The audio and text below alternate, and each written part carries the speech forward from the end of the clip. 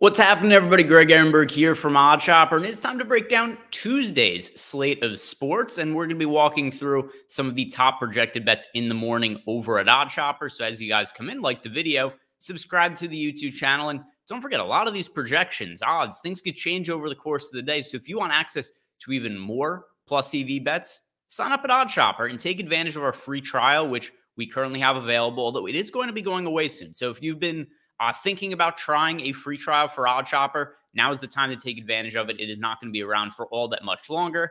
And if you want access to that free trial, it is seven days totally for free. You get access to that by clicking on the link below in the description box. And just an example of how things could change over the course of the day.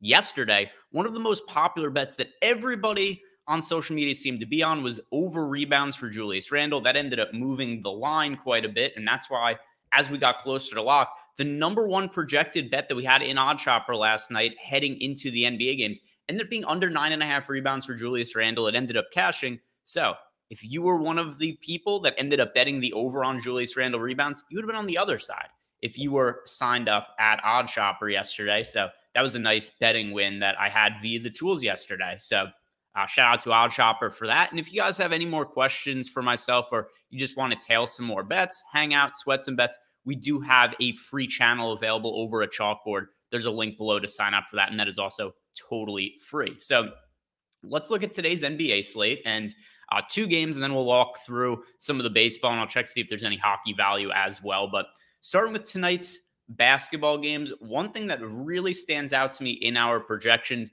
Michael Porter Jr. over 14 and a half points. This is a pretty low number for MPJ. And yeah, he hasn't had the best series in the world against the Phoenix Suns, but I like to look at some of the bigger sample sizes and just see what Michael Porter Jr. has done for the year, where he's averaging 17 points per game. So his over under is 14 and a half to open up the day. And a lot of this to do with him having some subpar performances against the Suns his last few games 11 points, 21 points, five points.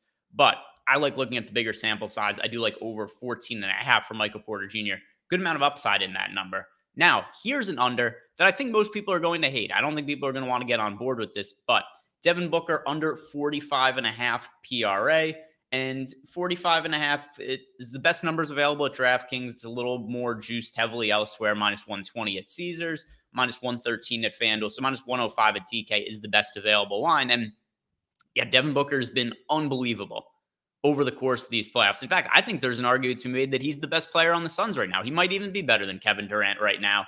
But Devin Booker averaged less than 40 PRA for the entire season and 45 and a half. That's just a really steep number. This is a road game for the Suns. Denver is the most difficult place to play in in the NBA. The Denver Nuggets have the number one home court advantage, at least in terms of a place that is worth the most points relative to the spread. A lot of that's to do with playing at altitude as well. So I do like the under 45 and a half PRA for Devin Booker. It does look a little bit too high. And then uh, one other one here that I want to uh, highlight that projects well for us is Marcus Smart for under 13 and a half points. And, you know, in the playoffs, we've pretty regularly seen teams give their core players really big minutes. But Marcus Smart hasn't regularly played massive minutes. He got 42 minutes last game, but that's actually the first time in the entire playoffs that he played over 35 minutes. And also, don't forget, last game went to overtime, so that influenced minutes as well. Marcus Smart's not getting the same boost in playing time that other guys are getting in the series. Like he's not playing as much as, you know, Jaylen Brown or Jayson Tatum. And a lot of this is because of how much depth the Celtics have in the backcourt. They have Derrick White to give minutes to. They have Malcolm Brogdon to give minutes to this year. So if Marcus Smart is going to keep playing like 32, 33, 34 minutes, it's hard to expect him to regularly score 14 or more points because he only averaged 12 points per game in the regular season. And this is a fairly tough matchup against the 76ers. So uh, that is another bet that I like for today. Let's see what's looking good in baseball to open up the day. Looks like a lot of total base props here. So Rowdy Tellez, just need him to uh, get on base once via hit, and he would hit the over on this. Here's a super low number. Drew Rucinski has an over under of two and a half strikeouts. Some books have it at three and a half right now. If you get the two and a half, we have this projected win 66% of the time. So even if it's juiced, I mean, 66%, there's a lot of leeway there in terms of what is the fair line. So let's see, 60 I'm so 66%, anything minus 194 or better is is above the break even point at 66%. So I think this is worth looking at. The Yankees offense kind of sucks right now. I know they had a big game yesterday, but no Giancarlo Stanton, no Aaron Judge for them right now. And this is a team, it's just a pretty thin offense. There are strikeouts to be had. So Rucinski over two and a half strikeouts. I think that makes sense. Dan Vogelbach for the Mets. Only need him to get one hit today against the Reds, and he would cash the over on his bases. Let's see. A lot of total base props in here. Any strikeout or home run props? Louis Varland. I think this is a pretty decent look. Really tough matchup him against the Padres. This Padres offense is going to be a nightmare for opposing pitchers going forward. Now that Tatis is healthy, Soto's starting to swing a better bat. So top of that order, when you got guys like Soto, Machado, Tatis, Xander Bogaerts to go through, it's going to be tough to generate strikeouts. Louis Varland isn't the best pitcher in the world. Tough matchup for him against the Padres. His over under is four and a half strikeouts and is actually plus money on the under. So I think that one makes sense there. Let's check out NHL if anything is standing out for the NHL lines. And yeah, some goal scoring props here. Um, Dadonov plus 500.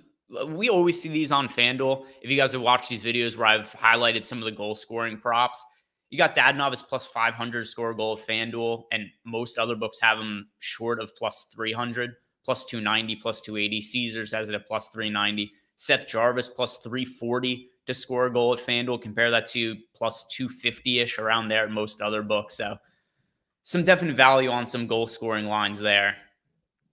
Let's build out a PrizePicks parlay. One of the other perks of OddsShopper here is that we do have a parlay build, a parlay builder you could use for DraftKings, FanDuel, pretty much any sports book, then also for the pick'em sites. Let's make sure there's no lines in here for tomorrow's basketball games, which there aren't. So this is a six leg flex parlay over at PrizePicks. They 22% expected ROI. Jaylen Brown over 33 and a half PRA. Derrick White under 18 and a half PRA. Jeremy Pena for one hit here. Brent Burns for under three and a half shots on goal. Don't ask me how to pronounce this guy's name, but under four and a half strikeouts for Fat. I haven't watched him pitch yet. I'm not exactly sure how to pronounce his name. I think that's correct, though. Fat under four and a half strikeouts for him. And then talk about MPJ, Michael Porter Jr., under 14 and a half points. Do one parlay. Should do it for, I usually do it for, I'll do it for DraftKings today. So let's see what's standing out for DraftKings purposes. And yeah, here is a one, two, three, four, five leg parlay at DraftKings, 27 to 1 odds and a 26% expected ROI on this. We have Chas McCormick for one total base, just need him to get one hit. Same with Bleday, one hit. We talked about Devin Booker before, him for under 45 and a half PRA, and then a couple other total base props, Daniel Vogelbach and Chris Taylor. All together, 27 to 1 odds here. We have it winning 4% of the time, which is good for a 26 expected ROI. So that is going to do it for me. Once again, if you guys want to take advantage of a free trial period, just sign up by clicking on the link below. Seven days totally for free. If you guys aren't satisfied with OddsShopper, no risk to you. You just leave and you don't pay for anything. No big deal, but I do recommend you try it out because there's no risk to you at all. Other than that, if you guys haven't done yet, do me a favor, like the video, subscribe to the YouTube channel. I hope you have a great day and good luck with all your bets. See you guys back here tomorrow.